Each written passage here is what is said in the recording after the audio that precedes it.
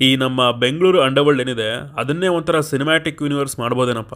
ಅಷ್ಟೊಂದು ಪಾತ್ರಗಳು, ಎಲ್ಲ ಪಾತ್ರಕ್ಕೂ ಒಂದೊಂದು ಪ್ರಾಪರ್ ಬ್ಯಾಕ್ಗ್ರೌಂಡ್ ಆ್ಯಂಡ್ ಅವರೆಲ್ಲ ಕನೆಕ್ಟ್ ಆಗೋ ಒಂದೊಂದು ಡಾಟ್ ಹಾಗೆ ಅವ್ರಿಗೆಲ್ಲ ಒಂದೊಂದು ಕ್ಲೋಸರ್ಗಳು ಹುಫ್ ಆಲ್ ಬೆಂಗಳೂರು ಅಂಡರ್ವರ್ಲ್ಡ್ ಮೇಲೆ ಎಷ್ಟು ಸಿನಿಮಾಗಳು ಬಂದಿವೆ ಅಂತ ನಿಮ್ಗೇನಾದರೂ ಲೆಕ್ಕ ಇದ್ದರೆ ಕೆಳಗಡೆ ತಿಳಿಸ್ಬಿಡಿ. ಎಸ್ ಹಾಯ್ ಹಲೋ ನಮಸ್ಕಾರ. ನೀವು ನೋಡ್ತಾ ಇದ್ದೀರ ನನ್ನ ಪ್ರಕಾರ. ಕೈವ. ಜಯತೀರ್ಥ ಅವರು ಡೈರೆಕ್ಟ್ ಮಾಡಿ, ಧನ್ವೀರ್ ಹಾಗೂ ಮೇಘಾ ಶೆಟ್ಟಿ ಅವರು ಮೇಯ್ನ್ ಲೀಡಲ್ಲಿ ಕಾಣಿಸ್ಕೊಂಡಿರೋ ಸಿನಿಮಾ. ಹೆಲ್ತ್ ಹದಗೆಟ್ಟಿದ ಕಾರಣ ಸ್ವಲ್ಪ ಲೇಟಾಗಿ ನೋಡಿದೆ ಸಿನಿಮಾನ. ಸೊ ಬೇಗ ಶುರು ಮಾಡೋಣ ರಿವ್ಯೂನ. ಆ್ಯಂಡ್ ಅದಕ್ಕಿಂತ ಮುಂಚೆ ಚಾನಲ್ ಅರವತ್ತು ಸಾವಿರ ಸಬ್ಸ್ಕ್ರೈಬರ್ಸ್ನ ರೀಚ್ ಆಗಿದೆ. ಧನ್ಯವಾದಗಳು. ಆ್ಯಂಡ್ ಅಗೈನ್, ಚಾನಲ್ಗೆ ಯಾರಾದರೂ ಫಸ್ಟ್ ಟೈಮ್ ಬಂದಿದ್ರೆ ವೀಡಿಯೋನ ಫುಲ್ ನೋಡಿ, ಇಷ್ಟ ಆದರೆ ಮಾತ್ರ ಸಬ್ಸ್ಕ್ರೈಬ್ ಮಾಡಿಕೊಂಡು ಸಪೋರ್ಟ್ ಮಾಡಿ. ಕೈವಾ ಸಿನಿಮಾದ ಬೇಸ್ ಸ್ಟೋರಿಲೈನ್ ವಿಚಾರಕ್ಕೆ ಬಂದರೆ, ಕೈವಾರದಿಂದ ಬೆಂಗಳೂರಿಗೆ ಜೀವನ ಕಟ್ಕೋಬೇಕು ಅಂತ ಬಂದ ಕೈವಾ, ಸಾಲ್ಮಾ ಅನ್ನೋ ಹುಡುಗಿ ಜೊತೆ ಪ್ರೀತಿಯಲ್ಲಿ ಬೀಳ್ತಾನೆ. ಈ ಲವ್ ಡ್ರಾಮಾ ಜೊತೆ ಅಂಡರ್ ವರ್ಲ್ಡ್ ಹೇಗೆ ಲಿಂಕ್ ಆಗಿದೆ ಅನ್ನೋದನ್ನು ನೀವು ಸಿನಿಮಾ ನೋಡಿನೇ ತಿಳ್ಕೋಬೇಕು.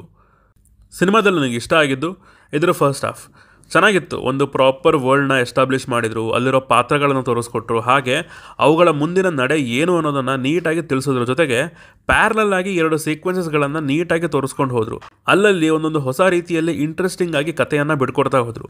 ಸೊ ಆವಾಗ ನಮಗೆ ಈ ಎರಡೂ ಕಥೆಗಳು ಹೇಗೆ ಒಂದಾಗ್ತವೆ, ತದನಂತರ ಏನಾಗಬಹುದು ಅನ್ನೋ ಕ್ಯೂರಿಯಾಸಿಟಿ ಬಿಲ್ಡ್ ಆಗುತ್ತೆ. ಆ್ಯಂಡ್ ಇದೆಲ್ಲದರ ಮಧ್ಯೆ ಇದ್ದಂತಹ ಇವೆಂಟ್ಸ್ಗಳು ಚೆನ್ನಾಗಿದ್ವು. ಕೆಲವೊಂದು ರಿಯಲ್ ಇನ್ಸಿಡೆಂಟ್ಸ್ನ ಪ್ಲೇಸ್ ಮಾಡಿ ತೋರಿಸಿದ್ದು ಇಷ್ಟ ಆಯಿತು. ಸ್ಪೆಷಲಿ ಆ ಭಕ್ತ ಪ್ರಹ್ಲಾದ ಸಿನಿಮಾ ಎಪಿಸೋಡ್ ಏನಿದೆ ಇಟ್ ವಾಸ್ ಗುಡ್ ಒಂದೊಳ್ಳೆ ಇಂಟ್ರೆಸ್ಟ್ ಕ್ರಿಯೇಟ್ ಮಾಡ್ತು. ಆ ಇಡೀ ಎಪಿಸೋಡ್ ಆ್ಯಂಡ್ ಇಂಟರ್ವಲ್ ಬ್ಲಾಕ್ ಕೂಡ ಹಿಡಿದು ಕೂರಿಸಿತ್ತು. ಇನ್ನು ಇದರ ಮೇಕಿಂಗ್ ಹಿಡಿಸ್ತು ನನಗೆ. ಪ್ರಾಪರ್ ನೈನ್ಟೀನ್ ಏಯ್ಟೀಸ್ಗೆ ಕರ್ಕೊಂಡು ಹೋಗಿದ್ದಾರೆ ಅಂದಮೇಲೆ ರಿಯಲ್ ಲೊಕೇಶನ್ಗಳಲ್ಲಿ ಶೂಟ್ ಮಾಡಿದರೂ ಕೂಡ ಆ ಜಾಗವನ್ನು ಆ ಹಳೆ ಕಾಲಕ್ಕೆ ತಕ್ಕಂತೆ ಬದಲಾಯಿಸಿ ತೋರಿಸಿದ್ದು ಒಳ್ಳೆಯ ವಿಚಾರ.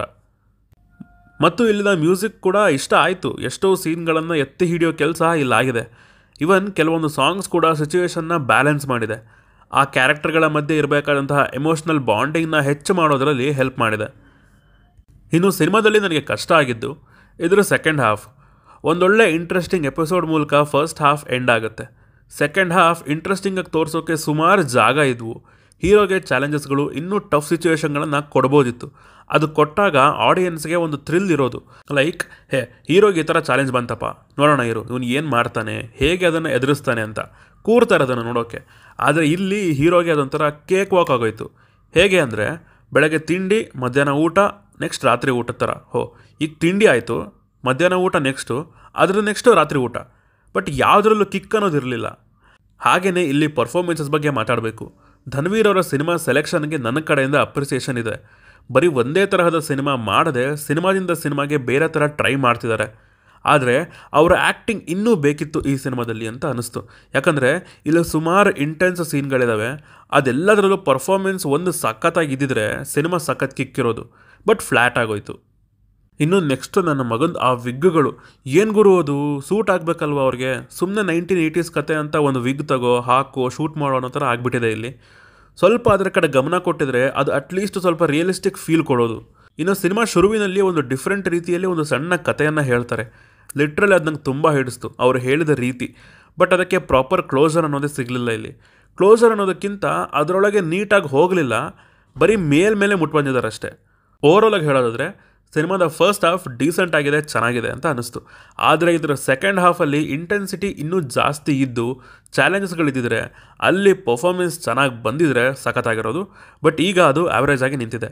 ಬಟ್ ತುಂಬ ಖುಷಿ ಆಯಿತು. ಥಿಯೇಟರ್ನಲ್ಲಿ ಅರವತ್ತು ಪರ್ಸೆಂಟ್ ಜನ ಇದ್ದರು ಧನ್ವೀರ್ ಅವರು ಒಳ್ಳೊಳ್ಳೆ ಸಿನಿಮಾಗಳು ಕೊಡ್ತಾ ಹೋದರೆ ಪರ್ಫಾರ್ಮೆನ್ಸ್ನ ಇಂಪ್ರೂವ್ ಮಾಡ್ಕೊತಾ ಹೋದರೆ ಒಂದೊಳ್ಳೆ ಕ್ರೌಡ್ ಪುಲ್ಲರ್ ಆಗ್ಬೋದು ಅಂತ ನನಗೆ ಅನ್ನಿಸ್ತಾ ಇದೆ.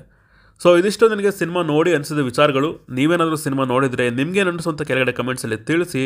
ಹಾಗೂ ನೀವು ನಮ್ಮನ್ನು ಇನ್ಸ್ಟಾಗ್ರಾಮ್ ಮತ್ತು ಟ್ವಿಟರ್ನಲ್ಲಿ ಕೂಡ ಫಾಲೋ ಮಾಡ್ಬೋದು ಸಿನಿಮಾದ ಅಪ್ಡೇಟ್ಸ್ಗಾಗಿ ಸೊ ಸಿಗೋಣ ಮುಂದಿನ ವಿಡಿಯೋದಲ್ಲಿ ಬಾಯ್